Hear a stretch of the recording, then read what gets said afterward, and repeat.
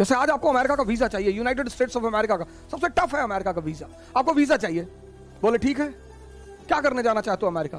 बोले, साहब, वो नियाग्रा फॉल देखेंगे। मत जा। यहाँ धुआधार देख ले इंडिया में। क्या करने जाएगा?